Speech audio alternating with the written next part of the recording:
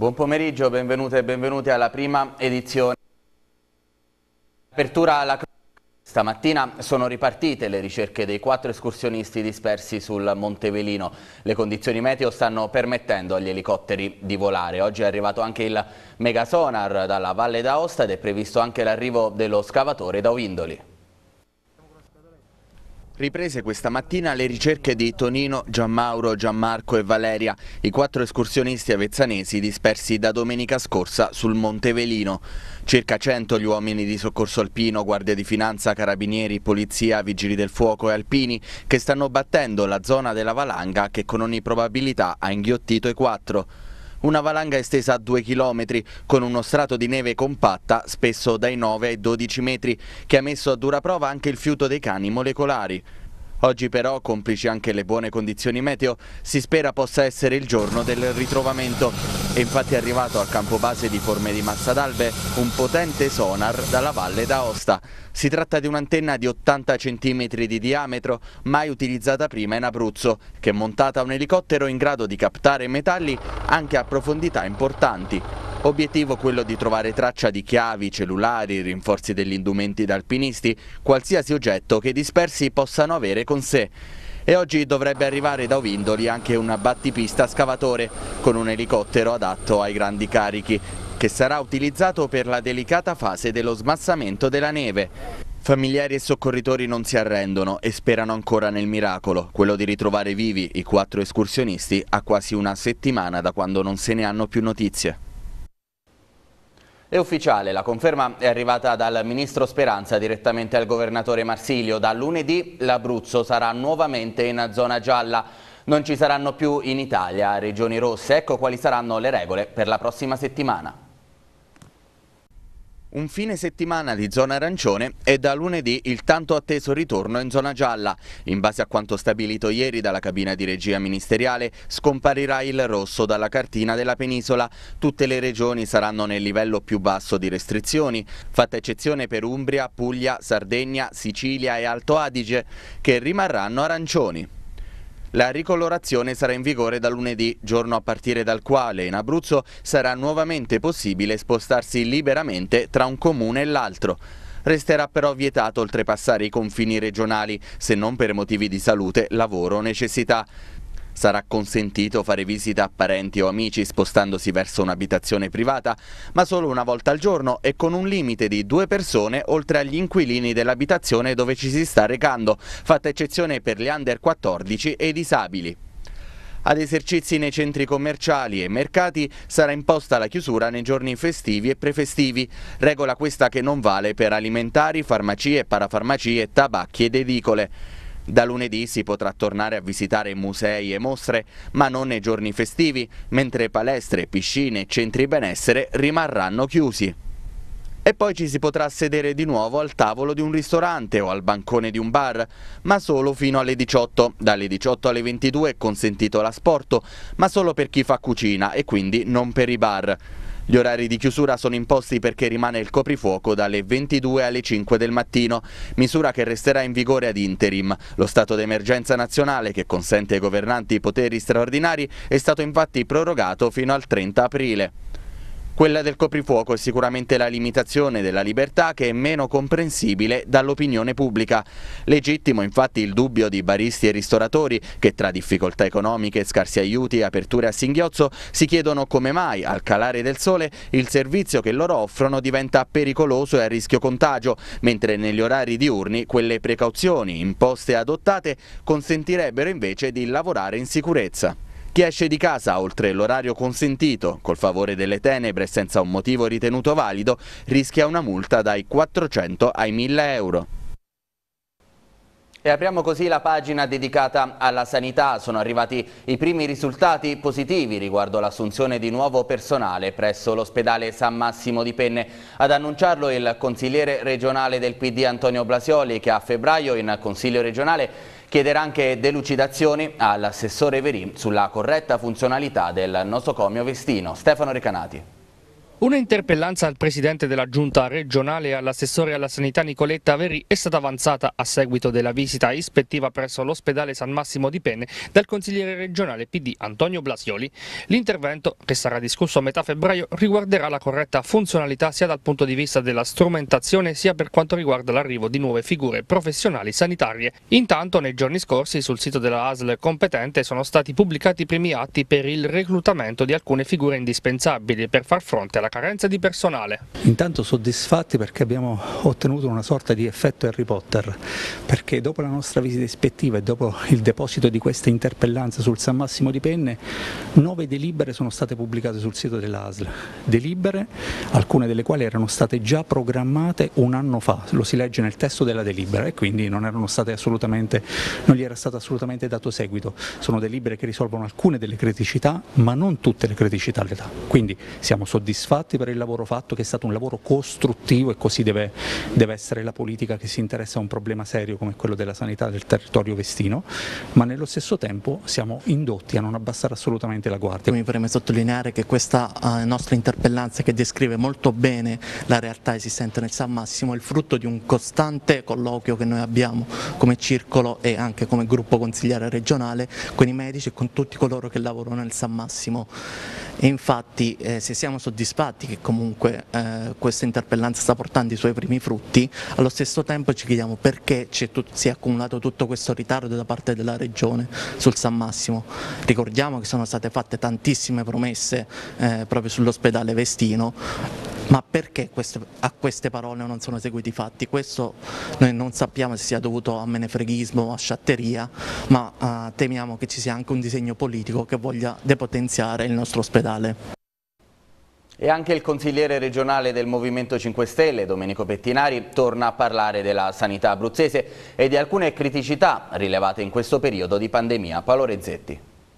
Consigliere Pettinari, lei oggi torna a parlare di sanità, un discorso articolato su alcune problematiche che lei eh, sottolinea da tempo e con forza. Sì, abbiamo raccolto una serie di criticità da parte dei cittadini abruzzesi, dei veri e propri gridi d'allarme, diciamo così. Intanto dalle madri, padri abruzzesi che eh, ci denunciano appunto che non possono iscrivere i propri figli ai pediatri perché c'è una carenza cronica appunto di pediatri e ci sono troppi pazienti. Non hanno pubblicato le cosiddette nuove carenze, non hanno istituito le nuove sedi, quindi mancano pediatri, ci sono tanti bambini che hanno necessità. Regione Abruzzo ha una grande responsabilità di risolvere questo problema, ho fatto una grande interlocuzione, ancora risolvono il problema, si faccia presto, ogni bambino, ogni nostro figlio della nostra terra deve avere un'assistenza sanitaria pediatrica. Addirittura abbiamo scoperto che ci sono pediatri che hanno superato di gran lunga il massimale consentito da legge, altri che non riescono superare, ad arrivare alla soglia e questa è una disparità di trattamento inqualificabile.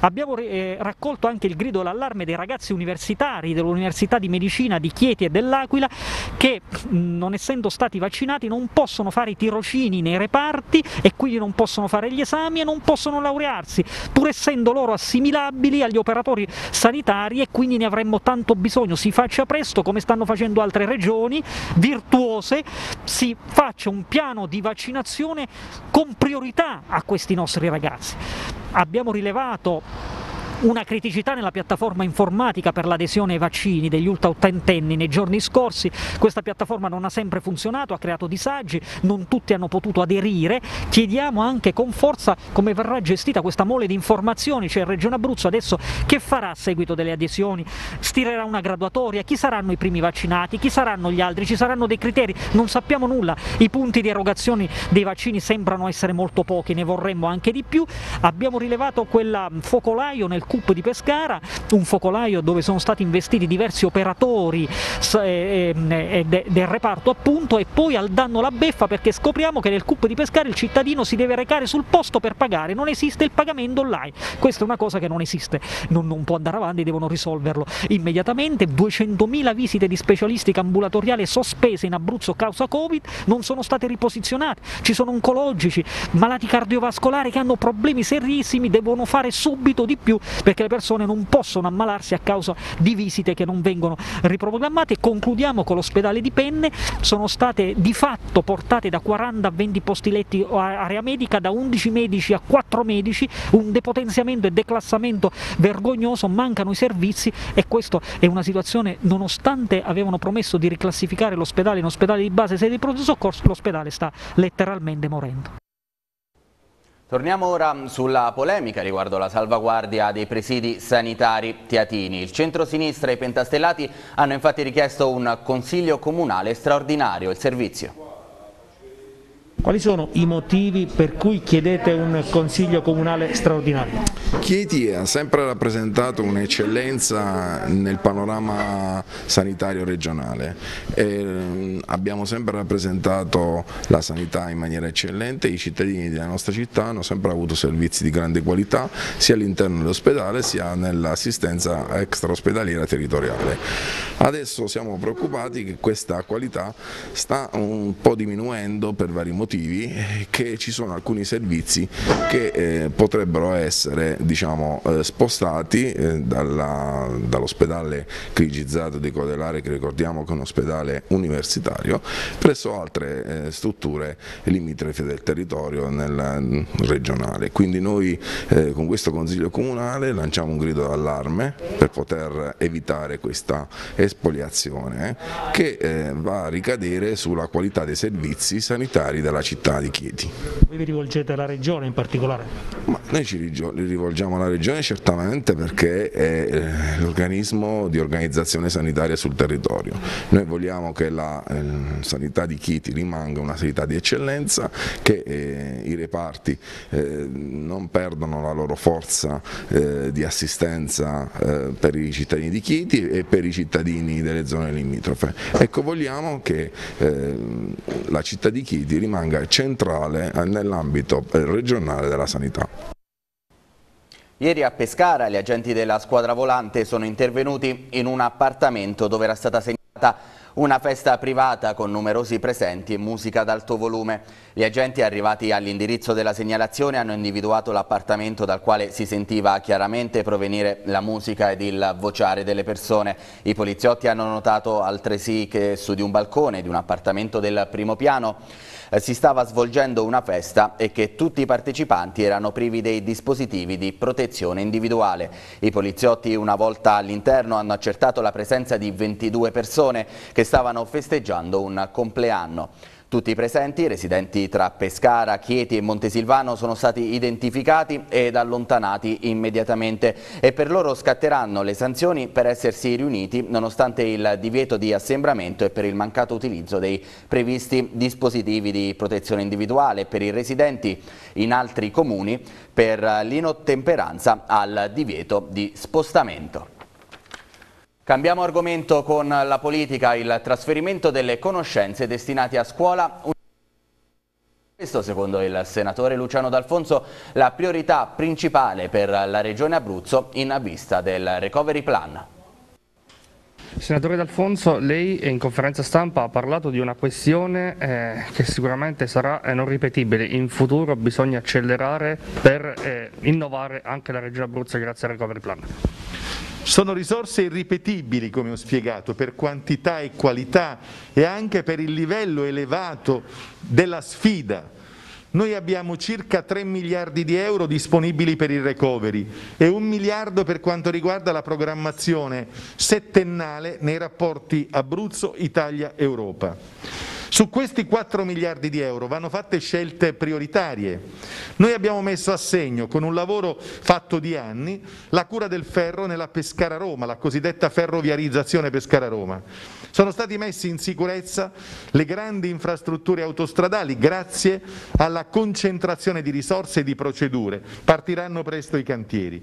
Accanto al trasferimento delle merci e delle persone, c'è l'altra grande priorità, il trasferimento delle conoscenze destinate alle scuole, alle università e alla salute, per la salute. Noi dobbiamo determinare il cablaggio di scuole, università e strutture ospedaliere per fare in modo che non ci sia più interruzione nell'offerta scolastica, formativa, educativa, universitaria e neanche nella possibile offerta di salute riferita per esempio alla telemedicina. Tutto questo può essere se ci sono sono queste infrastrutture capaci di connettere.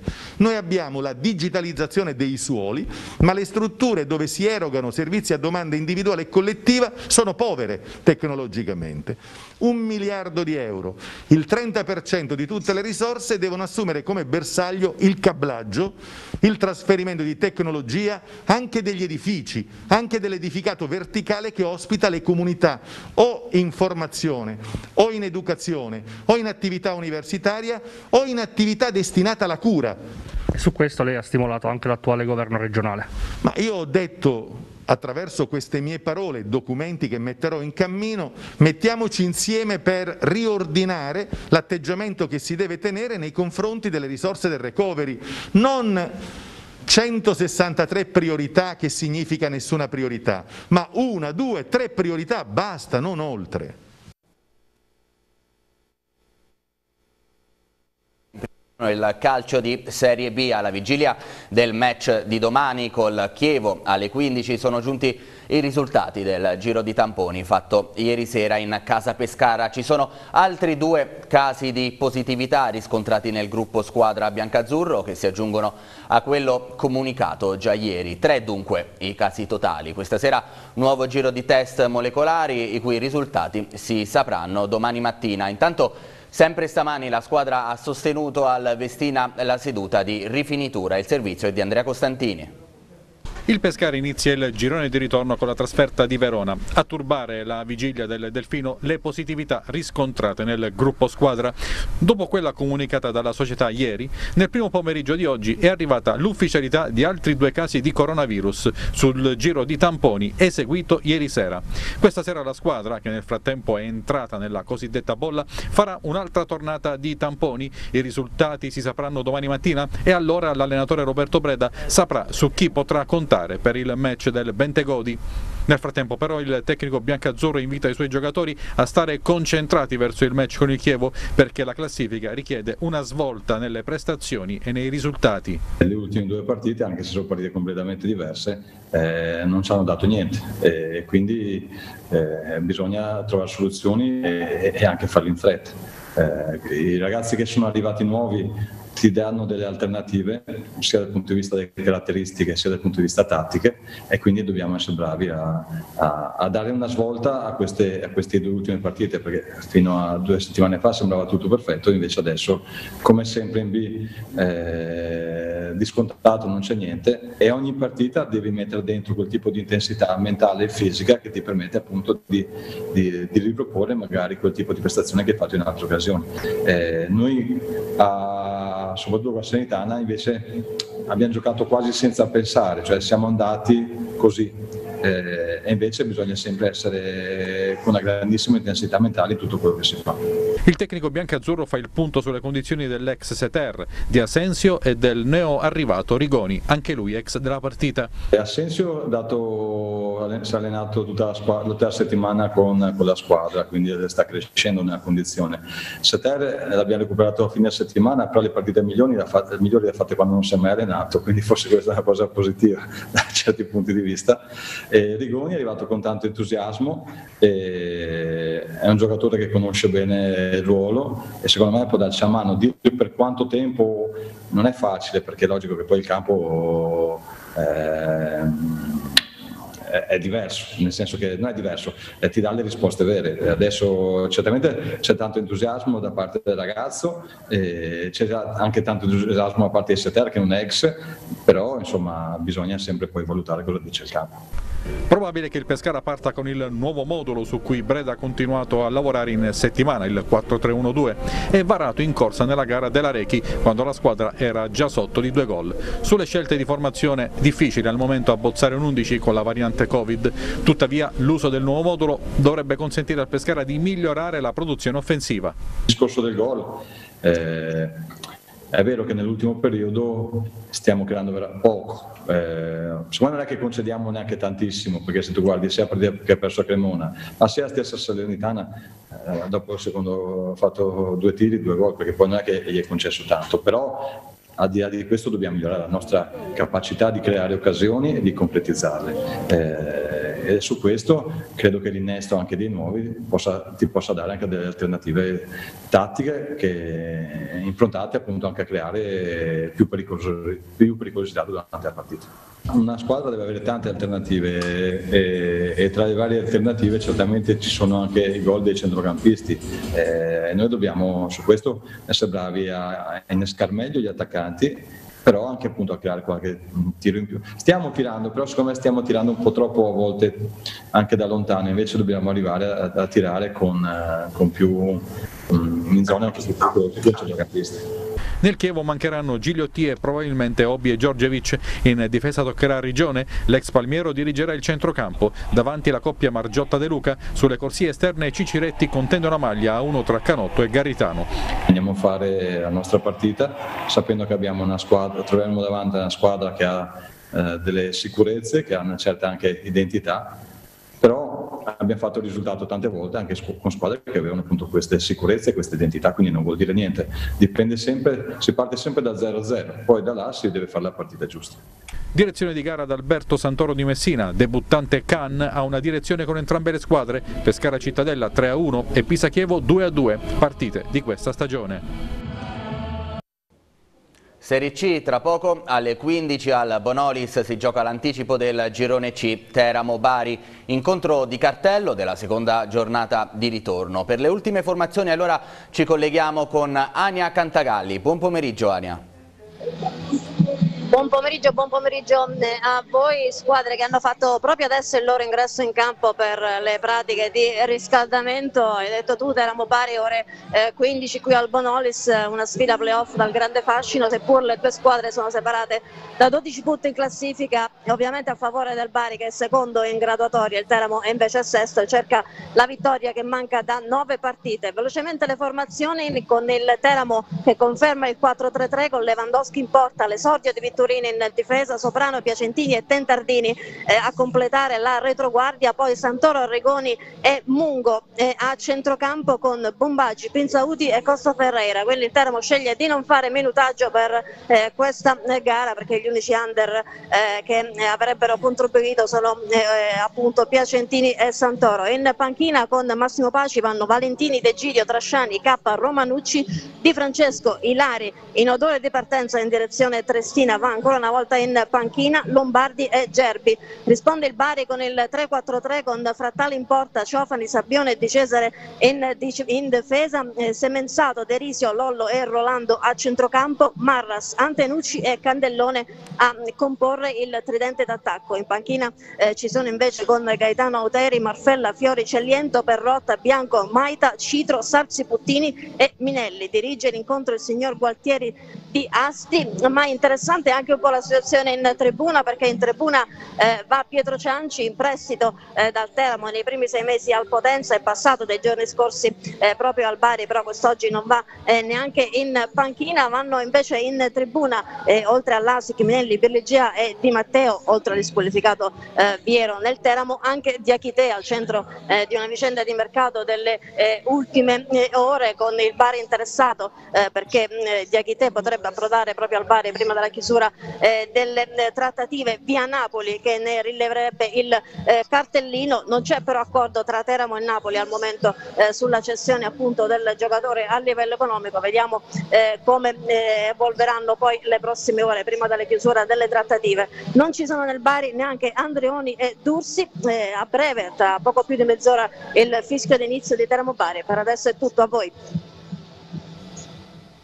Grazie Ania Cantagalli, ovviamente il resoconto della partita nella prossima edizione del TG6, ma ora andiamo avanti perché domani si giocherà la quattordicesima giornata di Serie D, due rinvii previsti ma le cinque abruzzesi saranno tutte in campo, non ci sono derby, la presentazione del turno nel servizio. Tutte in campo le cinque abruzzesi di Serie D, in una giornata, la quattordicesima, nella quale sono due i rinvii, Rieti Montegiorgio e Recanatese Matese. Proprio Montegiorgio e Matese dovrebbero tornare in campo il 7 febbraio in occasione della sedicesima giornata e i rispettivi match del turno infrasettimanale di mercoledì prossimo contro Fiuggi e Giulianova saranno rinviati. Per Montegiorgio Fiuggi c'è già l'ufficialità. L'unica squadra scesa finora regolarmente in campo è il Castelnuovo e accadrà anche domani a Tolentino perché la squadra di Mosconi, ai box da due giornate per un paio di casi Covid, tornerà a giocare. Negativi i tamponi effettuati ieri dalla squadra Cremisi. La squadra di, di Fabi invece in trasferta spesso rende al meglio, vuole difendere il primato dall'assalto del Campobasso che ha due partite in meno e gioca sul campo dell'ultima della classe. Castelnuovo privo di Gentile e dello squalificato Sbarbati, dovrebbe dunque puntare ancora su Fagioli centravanti sostenuto da Di Ruocco, Emili e De Giglio, ma anche su una condizione atletica e un ritmo partita superiori rispetto al Tolentino. Medita riscatto il notaresco dopo il mezzo passo falso nel recupero con la Vastese. L'impegno però è molto ostico, trasferta al Ditella di Vasto Girardi. Freddo e altitudine, 1200 metri, saranno due ostacoli in più. Non bastasse la qualità della squadra molisana tra le rivelazioni di questo campionato e nelle cui fila milita il capocannoniere del girone, Mercai. Fondamentale per il tecnico Epifani il recupero di Marchioni, la cui assenza si è sentita in settimana. Rossoblu che sperano di lasciarsi alle spalle le polemiche sugli arbitraggi, ritenuti penalizzanti nelle ultime due partite e vogliosi di restare nella scia delle prime della classe. Dopo la giornata di stop forzato torna in campo il Pineto, bisognoso di una vittoria contro la Priglia. In settimana nuovo innesto per il tecnico Amaolo che ha accolto in rosa il terzino sinistro, classe 2000, Leonardo Mastrippolito, 41 presenze tra i pro con Bisceglie e Regina. L'allenatore pinetese presenta il match e parla della fase della stagione. Direi una partita importantissima perché poi viene dopo un periodo di inattività dove magari le altre squadre hanno giocato, quindi noi dobbiamo ritornare nel clima campionato dopo la pre buona prestazione con il Fiuggi dove secondo me è mancata soltanto la vittoria e dobbiamo, ci stiamo preparando al meglio per affrontare questa sfida importante con l'Aprilia anche perché eh, in una settimana abbiamo tre partite importanti quindi siamo in un momento secondo me cruciale del campionato dove per rientrare in corsa bisogna fare dei risultati importanti, ma io dico sempre che i risultati sono figli delle prestazioni importanti, quindi dobbiamo migliorare la prestazione, ecco, magari essere più incisivi gli ultimi 20 metri e poi ecco, e, e raggiungere l'obiettivo che ci siamo prefissati. A Genzano la Vastese proverà a prolungare il buon momento contro una Cinzia Albalonga scottata dal KO nel recupero col campo basso.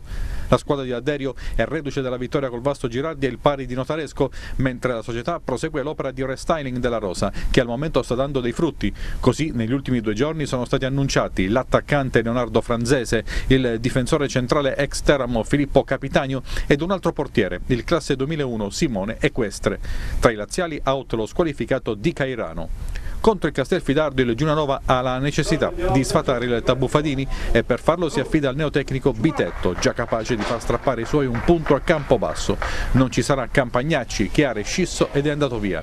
Assenti sicuri Mariani, Demoleon, Ranellucci e molto probabilmente Ferrini e Barlafante. Insomma è emergenza difesa con Danna nuovamente riadattato nelle retrovie, mentre le responsabilità dell'attacco ricadranno su Padovani Selin e De Cerchio. Tra i marchigiani auto squalificato un Giambè. Questa era l'ultima notizia, tutti quanti i servizi sono sulla piattaforma YouTube e sul sito tv6.it. Prossimo aggiornamento con l'informazione questa sera alle ore 19. Grazie e un buon pomeriggio.